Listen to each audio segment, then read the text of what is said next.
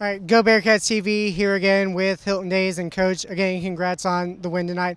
What did it mean for your team to come out and get a result tonight against a very good defensive Valpo team? Well, I think it, it means everything. I think Valpo is a good team. I think they defended really well. You know, I mean, they lost their first game to Kentucky in the 90th minute. Uh, they're very athletic. They're very organized. Uh, the coach does a great job getting them prepared to play. So we knew we were going to be for battle.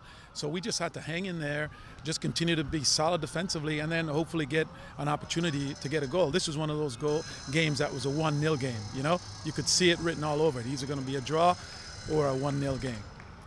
Again, Coach, what kind of mentality do you put into your players for an extra time game like this? Well, you know, I think for an extra time game, it just takes one play. So you're kind of on that knife edge, you know, where, you know, you could win it, but you could also lose it. So we tell our guys to be focused.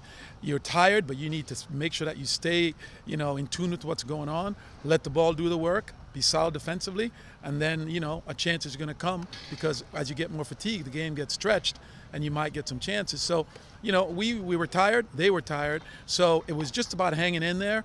And the, the team that makes the mistake loses. And at the end of the day, they made a mistake, and we were able to get the PK. Coach, your team starts off with two wins this season, and on Thursday, you guys face another tough opponent in Virginia Tech. What kind of preparations and what kind of mentality will you guys have going forward into that match? Well, the first order of business here is to recover because our guys, a lot of them played 110 10 minutes tonight, and we turn around and play again on Thursday. So I think we've got to get that right, the regen piece and the rest piece, because right now the guys are heavy legs, and you could see it today. They're actually a little bit heavy legged from the game on uh, on Friday. So recovery is key. Make sure there are no injuries, and then tomorrow I think um, you know we'll, we'll look at the game and, and kind of figure out some things, and then we'll talk about Virginia Tech probably on Wednesday. But you know this team is very resilient.